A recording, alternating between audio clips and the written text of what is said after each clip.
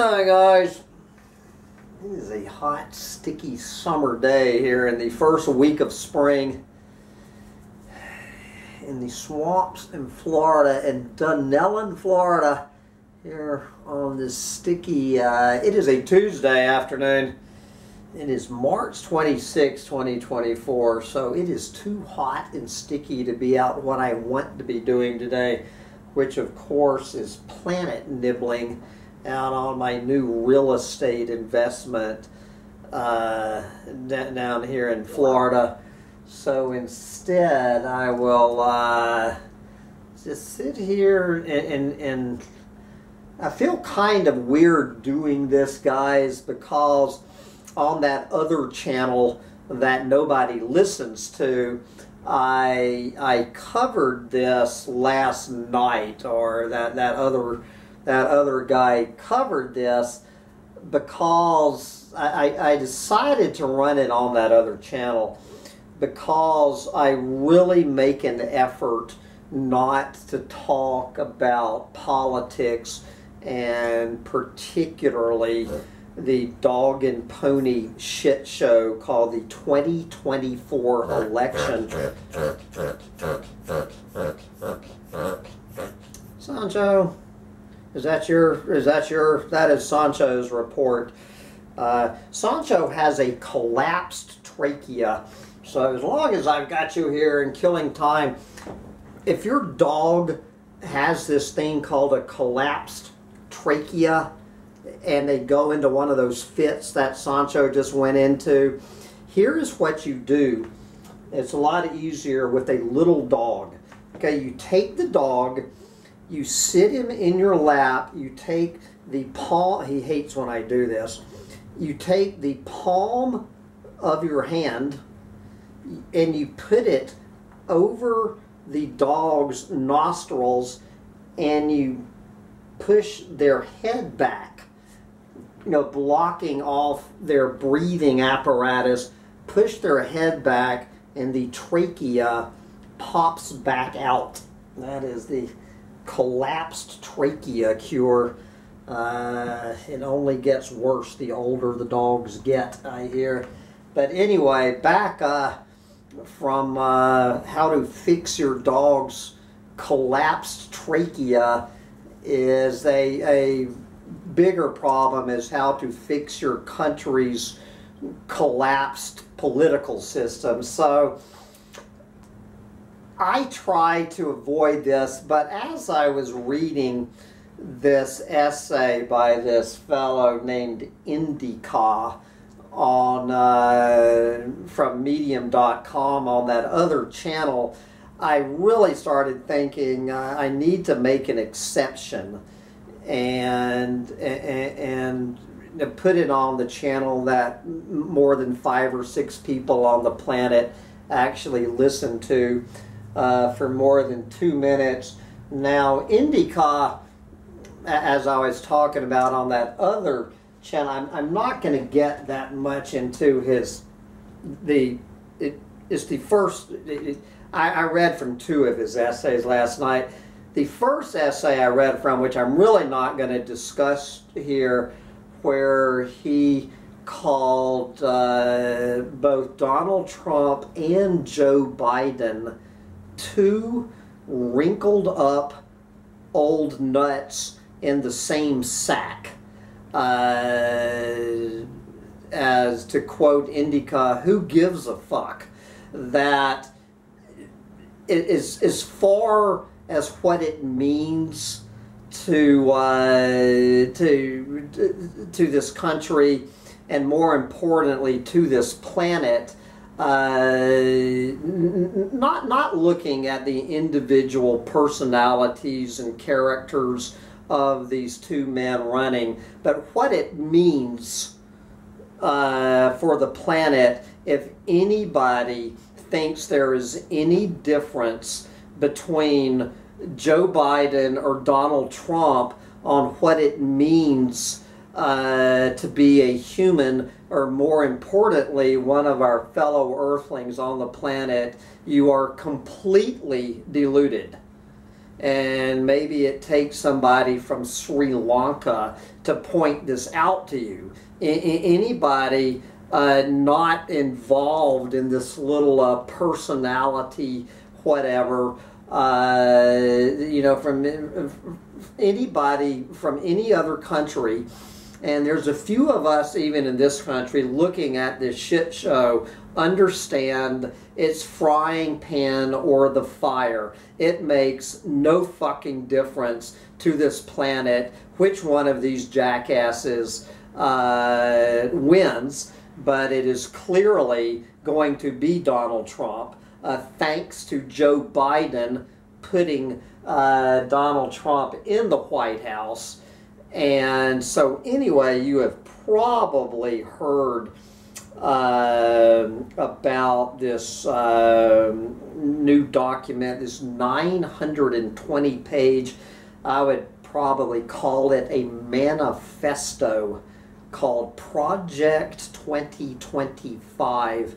Uh, I know some of my more politicized doomers are freaking out about this uh, Project 2025, and I am not sharing this so much. This, this has nothing to do with the shit show. Uh, I, I am just going to uh, address Indica's interpretation of one small part of it. Uh, and this was his latest essay on Medium.com. I read Trump's transition plan so you don't have to. Part one an introduction to destruction, an introduction to destruction, which is exactly what this is. So this is a long, uh, and, and it's just, and then there's going to be another one to follow it. So I am just going to read the last chapter of this long uh, part one of. Uh, this introduction to Project 2025. This is this is not so much, guys, an anti-Donald Trump rant. Uh, I you can find that on that other channel. Uh, it, it, I don't I don't even think Donald Trump's name is mentioned here. This is just a, it, it's basically saying, you know, uh, he, he's making the point that last time Trump got in, you know, he was still just kind of untested and didn't, and didn't really, and he was just kind of new at the game. But now all of these other, uh, just some of the most reprehensible people from these right wing think tanks, such as the Heritage Foundation and whatnot are, are, are now uh, grouped around him like the Confederacy of dunces that they are. Uh, but instead of in, instead of uh, surrounding a genius, they are surrounding the biggest dunce. So we have a confederacy of dunces uh, propping up a dunce. But we're not here to talk about the dunce in the middle. We're here to talk about the confederacy of dunces, meaning this right wing machine behind it uh, who have written this 920 page manifesto uh, called Project 2025 uh, and we're going to go down to the last chapter from Indica, What Not to Cut.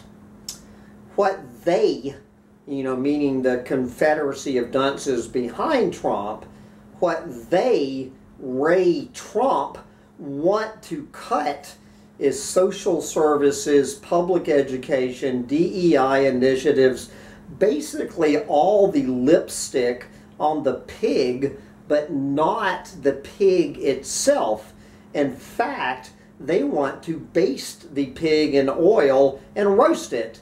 These conservatives, somewhat analogously to Russia here, want to take the realpolitik view of just leaning in to fossil fuels.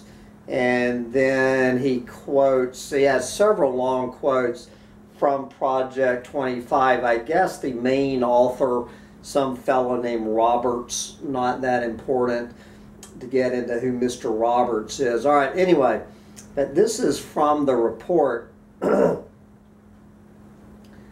next conservative president, meaning Donald Trump, of course, uh, that's another way of saying Donald Trump should go beyond merely defending America's energy interests, but go on offense, asserting them around the world, which is exactly what we've been doing for at least, what, going on 100 years anyway.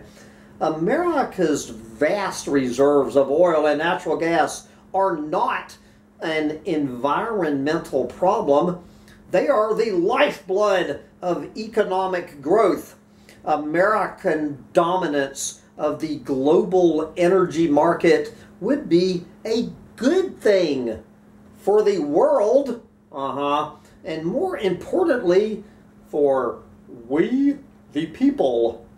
Full spectrum strategic energy dominance would facilitate the reinvigoration of America's entire industrial and manufacturing sector as we disentangle our economy from China. Globally, it would rebalance power away from dangerous regimes in Russia and the Middle East.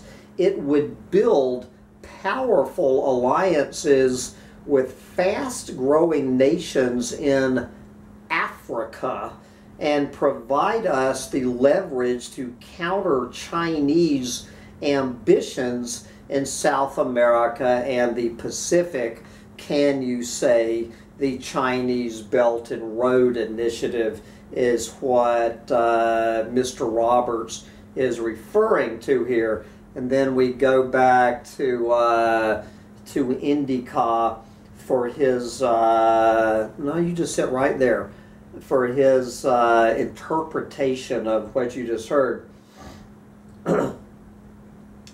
I'll ignore the climate change part because within American politics, that is just a pious platitude. Biden pretends to care about climate change, but he has actually drilled and fracked more than anyone before, the same as Obama proudly did before him. There is no political payoff for actually cutting fossil fuels, and there is no cost to just lying about it, which is all Democrats do. What I will point out is that the reindustrialization this document discusses is a physical, political impossibility. We were past a huge blunt in the form of fossil fuels, and we are at the roach end. Now, it is a non renewable resource, and we are just running out. America is fracking its last vein, and there simply is not enough economically viable oil to make America great again. The problem is not political will or regulations, and it's not even the climatic consequences. America simply does not have the natural or human resources for another economic boom, and even if they did, the planet would just explode even faster. There you go. And, and, and, and that is the bottom line. If, if we were to do, if Donald Trump were to manage to do what Project 2025 is guiding him to do, and millions upon millions of Americans cheering him on while he does it, even if it were possible, what it would mean is the planet would just explode even faster. If they are the only thing that success means, and, and not even counting all the other stuff, I'm only talking about the ecological environmental fallout uh, part of this uh, manifesto. It would throw us out of the frying pan into the fire. This is why a vote for Joe Biden uh, or versus Donald Trump is a vote for the frying pan or the fire. It is your choice. It makes no difference which one of those senile, those wrinkled old nuts in the same sack uh, end up in the White House. Uh, the, this planet uh, is fucked. Uh, Joe Biden might throw the clueless little moron greenies a few little scraps and bones to uh, to hoodwink them into thinking he is doing a damn thing to save this planet. The planet might have a couple of more years left in it if Joe Biden were to uh, stumble and fall his way into the White House, but it ain't going to happen because Donald Trump is going to lurch and swagger and slouch and slog his way into the White House because of Joe Biden. But where was I? Back to Indica. Uh, okay. The America simply does not have the natural or human resources for another economic boom, and even if they did, the planet would just explode even faster.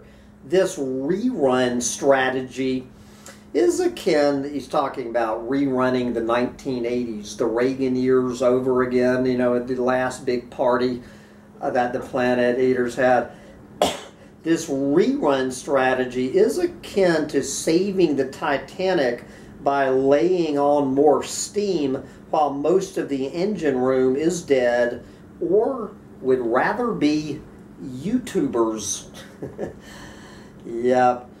What's interesting to me, and which is why I read my enemies, is that Roberts correctly identifies the actual problem of climate collapse, which is philosophical humanism, or what Dr. Tom Murphy calls human supremacy.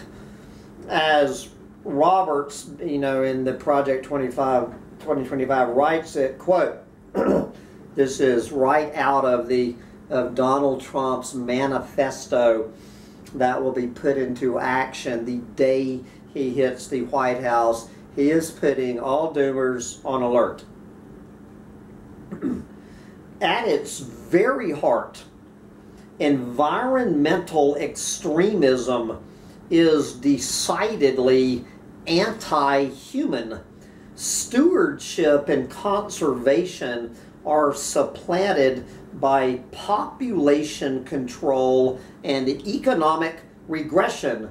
Environmental ideologues would ban the fuels that run almost all of the world's cars, planes, factories, farms, and electricity grids. And of course, what he doesn't mention is, and if they succeed, uh, which is why I am cheering on Just uh, Stop Oil, is that the global industrial economy would collapse. the global agricultural system would collapse. Uh, billions of people would starve to death within six months to a year. Uh, if uh, these environmental ideologues would uh, actually succeed in banning fossil fuels. Abandoning confidence in human resilience and creativity in responding to the challenges of the future would raise impediments to the most meaningful human activities. Yes, they would stand human affairs on their head regarding human activity itself as fundamentally a threat to be sacrificed to the God of nature. Well, I am so glad that the architects of Project 2025 understand that human activity, not to mention the humans doing the actions, are the threat to this planet. That is exactly what human activity is. It's uh, a fundamental threat uh, to, to, to nature, is what it is. Back to Indica. He is rightly wrong. Human affairs do need to be stood on their head for other life forms to have a chance to live. But never mind now, industrial civilization has no reverse gear. The old gods of weather are angry and they're just gonna clean slate everything. These guys are focused meaning the architects of uh, Project 2025, these guys are focused on a change of administration and going back to the 1980s because American culture is actually dead and has to reboot everything. But times have changed. These are the end times scientifically speaking, if you must be a heathen, yes, these are the end times, scientifically speaking. In the 1980s, you know, back uh, the Reagan years, the halcyon days of, and it really is, eh, you know, I, I never thought that we would be looking back uh, on the 1980s as the halcyon calm before the storm days of Ronald Reagan. What I would give to turn back the clock uh, to the days of Ronald Reagan uh, compared to the 2020s. Uh, you know, look, look, looks like Goldilocks in the 1980s, after what Westerners call the oil crisis, there was a clear fork in the road. The climate science was already there. International instability was already there, and research like the limits to growth had come out predicting collapse by about the 2020s. I'm thinking it was more like 2050, but anyway, by about the 2020s, if people did not change dramatically, the Reagan Revolution was effectively a counter revolution against all this. The react, they reacted against the changing consciousness of the 60s and 70s and acted against global changes with coups, corruptions, and invasions. The alarm had been sounded clearly in the 1970s, but they hit the snooze button for another few generations. they just continued the American dream a little longer, drilling, killing, and printing money to paper over the cracks that appeared. Others, other honestly wrong scholars like Francis Fukuyama called this the end of history. And it was because Western civilization honestly ended then. This is just the coda where everything is a reboot, including this policy document. They are just harking back to douchebags of the past like that will cleanse anything. and uh, I will put the uh, the link to uh, this full essay on here. You can read the rest of it. And uh, Indica will be coming out with part two uh, in the next few days. But I've heard all I need to hear. Uh, I, I, I really don't need to hear any more of this shit. I, I've heard uh, all we need to hear. Uh, you know, the war on doomers uh, is, is, is just beginning, and uh, 2025 will be an official declaration of war against doomers.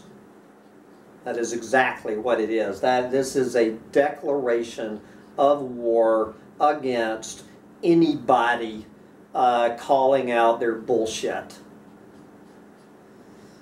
Anyway, with that, I'm going to wrap this up and uh, go unload a uh, truck full of dead cypress trees off the back of my gas sucking truck while I still can. Yes. Is your trachea uncollapsed at least? My guys.